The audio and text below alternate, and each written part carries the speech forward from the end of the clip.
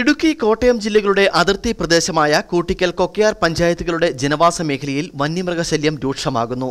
കാട്ടുപന്നി കാട്ടുപോത്ത് കുരങ്ങ് പൂച്ചപ്പലി അടക്കമുള്ള വന്യമൃഗങ്ങൾ ജനങ്ങളുടെ സ്വൈര്യജീവിതം കെടുത്തുകയാണ്. പ്രശ്നത്തിന് താൽക്കാലിക പരിഹാരമല്ല ദീർഘവീക്ഷണത്തോടെയുള്ള പൂർണ പരിഹാരമാണ് വേണ്ടതെന്നും നാട്ടുകാർ പറയുന്നു. കഴിഞ്ഞ ദിവസം കാട്ടുപന്നിയുടെ അക്രമത്തിൽ കൂട്ടിക്കൽ സ്വദേശിയായ യുവാവിന് പരിക്കേറ്റിരുന്നു. കൂട്ടിക്കൽ ഏന്തിയ റോഡിലൂടെ ബൈക്കിൽ സഞ്ചരിക്കവേ കൂട്ടമായി എത്തിയ കാട്ടുപന്നികൾ ആക്രമിക്കുകയായിരുന്നു. രണ്ടു മാസങ്ങൾക്ക് മുൻപ് സമാന രീതിയിൽ കാട്ടുപന്നിയുടെ ആക്രമണത്തിൽ യുവാവിന് പരിക്കേറ്റിരുന്നു. ഒരു മാസം മുൻപ് കൊക്കയാർ വെമ്പിളി ഭാഗത്ത് പുലിയെ കണ്ടതായി ടാപ്പിംഗ് തൊഴിലാളികൾ വെളിപ്പെടുത്തിയിരുന്നു. എന്നാൽ ഇത് പൂച്ചപ്പുലിയാണെന്നാണ് വനം വകുപ്പിന്റെ വിലയിരുത്തൽ. പശു അടക്കമുള്ള നിരവധി വളർത്തുമൃഗങ്ങളാണ് ഈ ജീവിയുടെ അക്രമത്തിന് ഇരയാകുന്നത് മേഖലയിൽ കാട്ടുപന്നി ശല്യം രൂക്ഷമാണ്.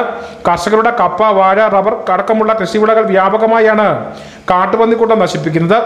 റബ്ബറിന്റെ വിലയിടവ് മൂലം പല തോട്ടങ്ങളും ടാപ്പിംഗ് നടക്കാതെ കാട് പിടിച്ചു കിടക്കുകയാണ്.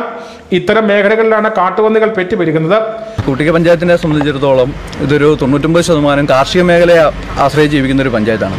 ഈ പഞ്ചായത്തിൽ നേരത്തെ ഉണ്ടായിരുന്നു. അതായത് ഒരു എട്ട് പത്തും മുപ്പതും വർഷങ്ങൾക്ക് മുമ്പ് ഈ മലയോര മേഖലകളിൽ കാട്ടുപന്നിയുടെ ശല്യങ്ങൾ ഉണ്ടായിരുന്നു. പലയിടങ്ങളിലും ഉണ്ടായിട്ടുണ്ട്. പക്ഷേ ഇപ്പോൾ അതല്ല സ്ഥിതി. ഇപ്പം കൂട്ടിക്ക ടൗണിലോട്ട് അല്ലെങ്കിൽ കൂട്ടിക്ക ലേന്തയാർ ഇളങ്കാട് മെയിൻ റോഡിന് പോലും മനുഷ്യർക്ക് യാത്ര ചെയ്യാൻ പറ്റാത്ത രീതിയിൽ കാട്ടുപന്നികളുടെ അതുപോലെയുള്ള കാട്ടുമൃഗങ്ങളുടെ ആക്രമണം വർദ്ധിച്ചുകൊണ്ടിരിക്കുകയാണ്. കാട്ടുപോത്ത് വരെ. ഉള്ളത് കണ്ടു എന്ന് പറയുന്നത്. മാസങ്ങൾക്ക് മുമ്പ് വെമ്പിളി ഭാഗത്ത് കാട്ടുപോത്ത് ഇറങ്ങിയിരുന്നു. വളരെ അപകടകാരികളായ കാട്ടുപോത്തിനെ ടാപ്പിംഗ് തൊഴിലാളികളാണ് കണ്ടത്. വനം വകുപ്പിന് വിവരം അറിയിച്ചെങ്കിലും ഇവർ വേണ്ടത്ര ജാഗ്രത കാണിക്കുന്നില്ലെന്ന് പ്രദേശവാസികൾ പറയുന്നു. താളുങ്കൽ എസ്റ്റേറ്റ് ഭാഗത്തും പൂച്ചപ്പുലിക്ക് സമാനമായ ജീവിയെ ടാപ്പി തൊഴിലാളികൾ കണ്ടിരുന്നു. വനം വകുപ്പ് ഉദ്യോഗസ്ഥരെത്തി ക്യാമറ സ്ഥാപിച്ചെങ്കിലും തുടർ നടപടികൾ ഒന്നും ഉണ്ടായില്ല. News bureau Peermade.